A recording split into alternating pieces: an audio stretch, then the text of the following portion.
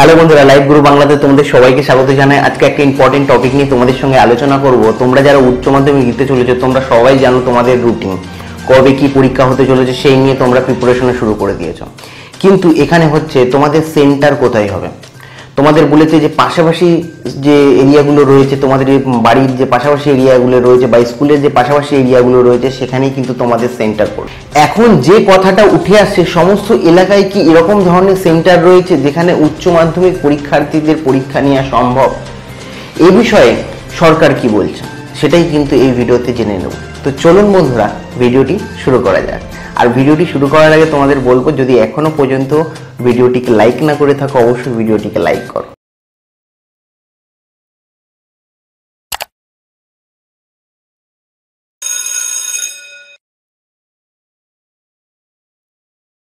বন্ধুরা, তোমরা কিন্তু সবাই জানো যে তিরিশে জুন পর্যন্ত শিক্ষামন্ত্রী জানিয়ে দিয়েছে, স্কুল, কলেজ সহ সমস্ত শিক্ষা প্রতিষ্ঠান বন্ধ থাকবে।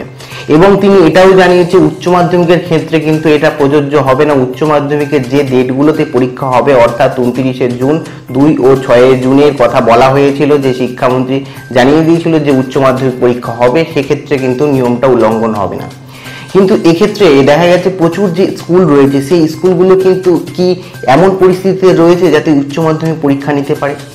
এক্ষেত্রে আরও একটা জিনিস জানিয়েছে যে শিক্ষামন্ত্রী যে এই লকডাউনের কারণে তোমাদের এমন কোনো দূরে যদি সেন্টার থাকে, সেই দূরে গিয়ে সেন্টার দেওয়া হবে না। তোমাদের স্কুলের কাছাকাছি সেন্টার দেওয়া হবে অথবা তোমাদের যে এলাকা রয়েছে, সেই এলাকার কাছাকাছি কিন্তু তোমাদের সেন্টার হবে উচ্চ মাধ্যমিকে।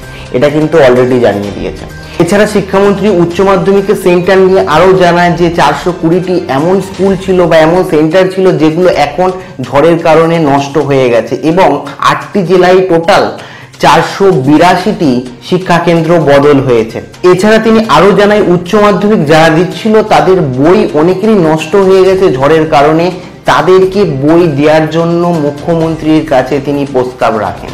এছাড়া পূর্ব মেদিনীপুরের মতো বিভিন্ন এরকম এলাকা আছে যেখানে আমপানে প্রচুর পরিমাণে ক্ষতি হয়েছে।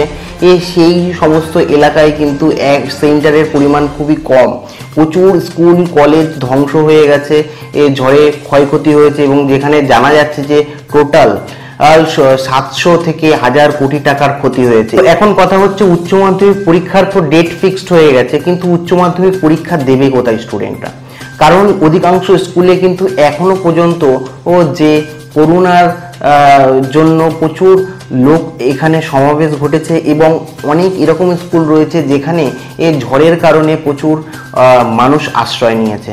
এছাড়া প্রচুর স্কুল ঝড়ের কারণে ধ্বংস হয়ে গেছে। সেক্ষেত্রে সেন্টার কি হতে পারে? এ তোমাদের সেন্টার নিয়ে কি পরিকল্পনা রয়েছে? এ পশ্চিমবঙ্গ সরকারের। তো পশ্চিমবঙ্গ সরকার কিন্তু এক্ষেত্রে জানিয়ে দিয়েছে শুধুমাত্র স্কুল না, স্কুলের পরিবর্তে তোমাদের সেন্টার কলেজেও হতে পারে, তোমাদের সেন্টার কিন্তু অন্যান্য শিক্ষা প্রতিষ্ঠানেও হতে পারে। এখানে কিন্তু তোমাদের কোনো ফিক্সড এইরকম কোনো জায়গা নেই যে এখানেই সেন্টার হবে। যদি কোনো যে এরকম প্লেস হয় যেখানে যে জায়গায় পরীক্ষা দেওয়ার উপকূল জায়গা, সেই জায়গায় কিন্তু পরীক্ষা নেওয়া হবে। সেক্ষেত্রে তোমাদের এ শুধুমাত্র স্কুল না, স্কুল ছাড়া কলেজ অথবা অন্য কোনো জায়গাও তোমাদের শিক্ষা কেন্দ্র কিন্তু হতে পারে এমনটি জানিয়েছে কিন্তু শিক্ষামন্ত্রী।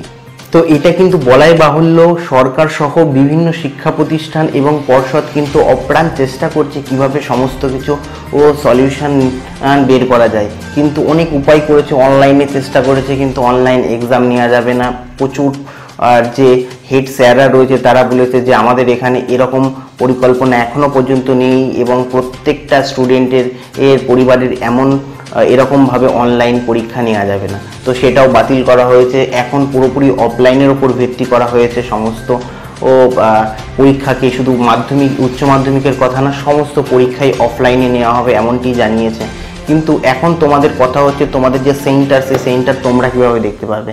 সেটা নিয়ে কিন্তু অলরেডি এই বলা হয়েছে যে তোমাদের এর পরীক্ষার কিছুদিন আগে তোমাদের সেন্টার সম্বন্ধে জানিয়ে দেওয়া হবে।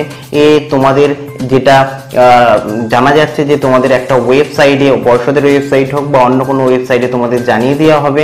এ তোমাদের রোল নাম্বার অনুযায়ী তোমরা রোল নাম্বার সার্চ করে এ ওখানে দেখতে পারবে তোমাদের সেন্টার ঠিক আছে ওখানে কিন্তু তোমাদের সমস্ত ইনফরমেশন দিয়ে দেওয়া হবে। তোমাদের রেজিস্ট্রেশন নাম্বার এবং রোল নাম্বার অনুযায়ী কিন্তু তোমরা দেখতে পারবে তোমাদের সেন্টার তো এটা তোমাদের পরীক্ষার দু তিন দিন আগেই কিন্তু দিয়ে দেওয়া হবে কিংবা এক সপ্তাহ আগে কিন্তু দিয়ে দেওয়া হবে।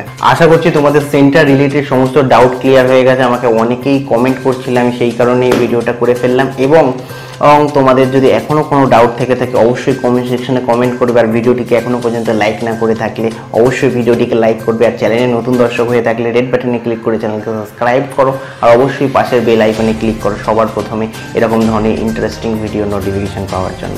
তো আজকের মতো এইটুকুই। আবার দেখা হচ্ছে অন্য কোনো ভিডিওতে। Take care bye bye